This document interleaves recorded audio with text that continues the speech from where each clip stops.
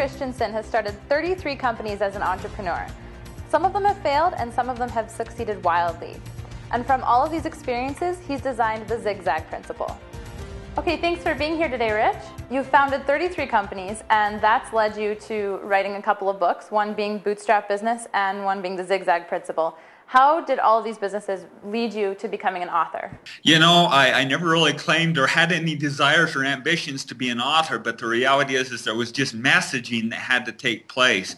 Uh, I've seen so much crazy failure out there and stupid brain dead kind of things taking place that uh, that just felt really compelled that needed to get the blending of the ingredients proper.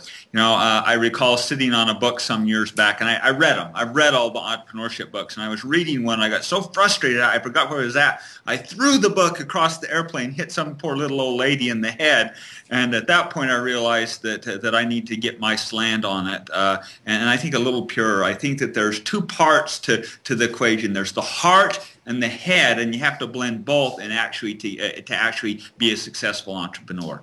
Yes, I've read a lot that passion can drive an entrepreneur, but it's not the only thing that should drive you.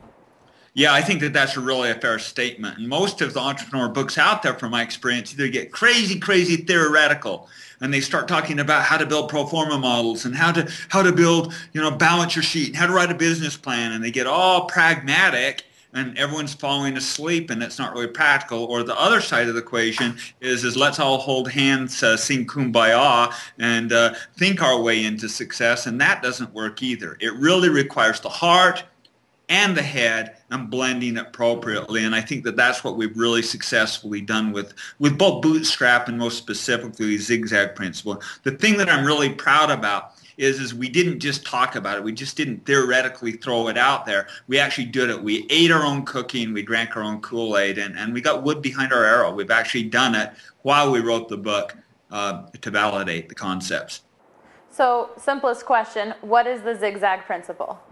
So, you know, in life, uh, in life, we live in zigzag all the time. Yet in, in the business world, so frequently, we're taught to, to set a crazy big hairy goal, race directly towards it, and then we wonder why we have so many uh, business failures. You know, nine out of 10 small businesses fail. I don't know about you, but nine out of 10, that doesn't sound like a really great uh, uh, level of odds to me. So what the zigzag principle is, is, is to live, our, create our businesses exactly like we live our lives. When you're skiing, you don't take your tips of your skis, point them directly down the mountain, race down the mountain. If you do, you break your neck. Or when you're hiking a mountain, you don't charge. I'm looking at a beautiful picture of Mount Everest here to the other side of me. I'm a hardcore hiker. We don't just charge directly up Mount Everest or we end up dying. So zigzag principle is the sequencing and the ordering of putting together some zigs and zags in business that help you get to success. It's giving you permission, and entitlement not to race directly to the goal, but to zigzag around the big obstacles to get to your goal. Okay, and I understand that one of the ideas in the book is that you're teaching people that failure is okay, and you teach people how to fail efficiently, and uh, you have a three-step process. Can you kind of go through that? You bet. Uh, indeed, uh, you know, I've now founded or co-founded 33 businesses.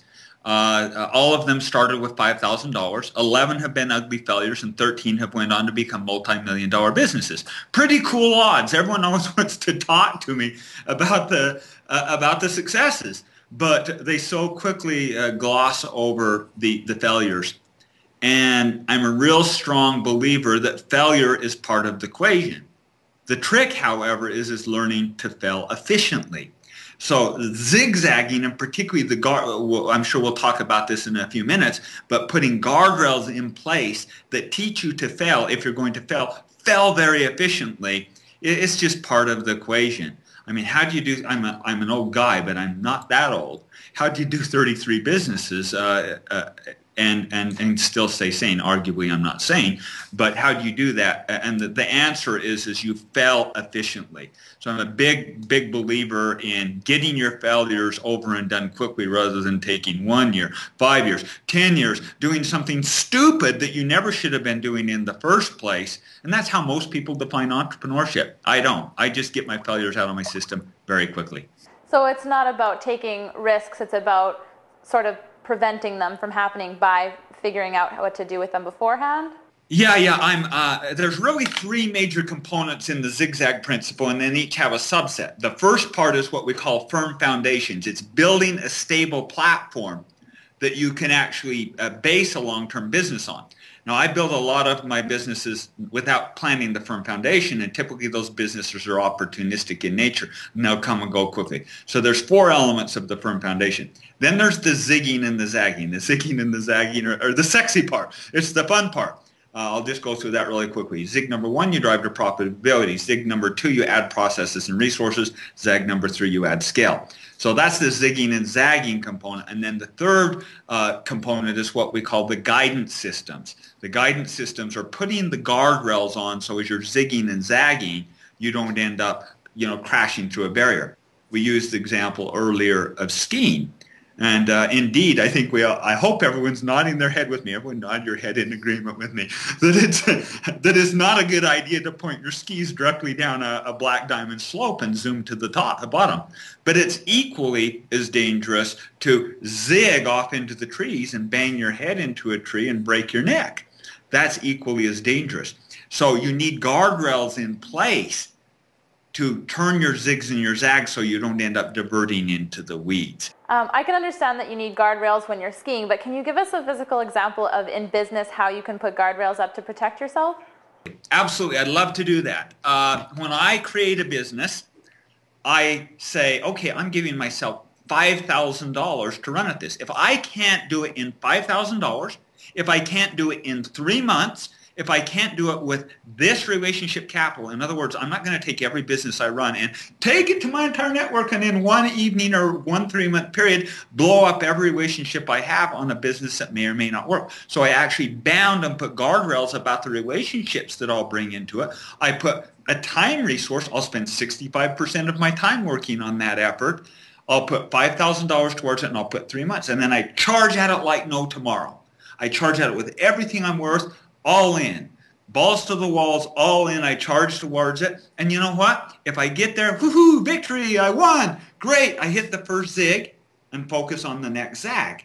But if I don't, I say, oh man, that really stunk. I wipe the hurting the pain off of me. I go back and I mope for a couple of three, four days.